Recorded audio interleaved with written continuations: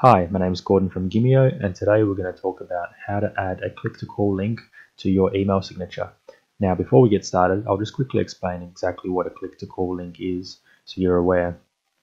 A click to call link is basically uh, adding a hyperlink to your phone number in your email signature so it makes it uh, much easier for your recipients to contact you by just clicking uh, or, or, tapping on the phone number in your email signature and then what that does is that will automatically open up the dialer on their phone and they'll be able to call you directly um, instead of copying the phone number from your email signature and then going to their phone dialer and then pasting it in and then calling you uh, with the click to call link. They can just tap your phone number in your email signature and it will call you directly.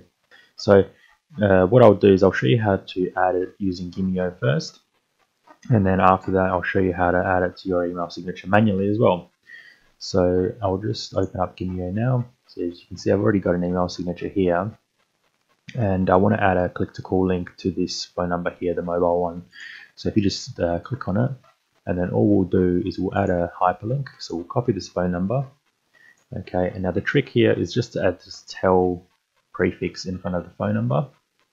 And that basically makes it uh, a click to call link. It is just by adding that tel prefix, tel and then colon Okay, so I'll just show you what I mean. So if we go into that, you can see that my mouse um, changes to the pointer when I hover over that. Um, and that's because it's now a hyperlink. And um, so if, if, I was to send this email signature to someone's mobile now, they will be able to uh, click on that mobile link and they'll be able to contact that phone number um, very easily.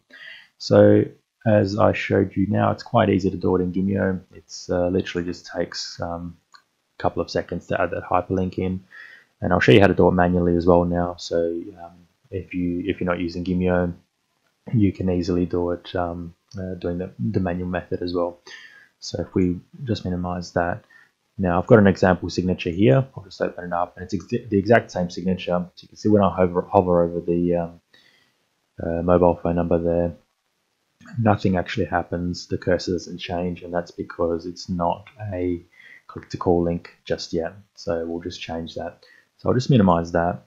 And um, what you'll need is you'll need your signature in a HTML file first.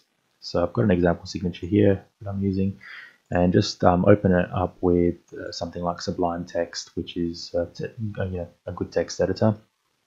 And what you'll need to do is you'll need to search for the phone number and that's probably the easiest way to find it in the code. And I know the phone number had a 422 on it, which it is right there, as you can see um, yeah, that's the easiest and quickest uh, way to find um, anything in this text editor, especially in a long HTML file like this. It can be quite difficult to find stuff. So I've actually already prepared a um, uh, the, the, bit of code that we're going to put in. So you can see the span here, and the span ends here. Um, so in front of the span, we'll just add this a um, attribute and um, you can see here as well that it's got the tel prefix. So that's just a random number that I've put in. So I'll just change that now.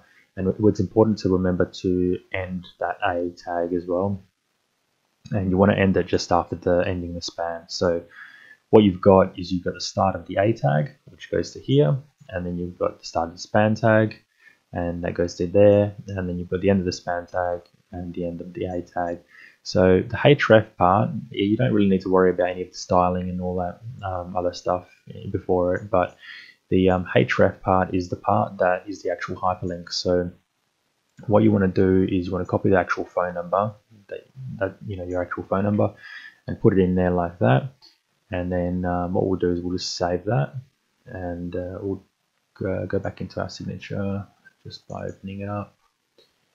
Um, and you can see now that it's got uh, the tel prefix there and you can basically click on it. So that's how easy it is. It's actually quite a straightforward procedure. There's not too much involved at all, but if you do get it wrong, um, let's say you forget to end um, the A tag or um, you put in some wrong parameters, you can actually screw up the whole email signature and that won't be good because it can be quite hard to find where the problem is later on. So um, yeah, that's all there is to it. Just adding the A tag with that tel colon prefix in front of it, and that is what you do to add the click to call link to your email signature. Now, if you haven't already, give our email signature generator a try. Like I showed you earlier, it's really, really easy to add a click to call link to your email signature.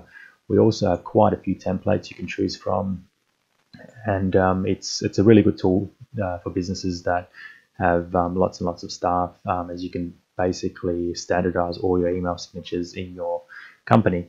And um, it, also, if you wanted to add, you know, a banner to your email signature, uh, you can add it to all the email signatures uh, company wide. So yeah, thanks very much for watching, and see you next time.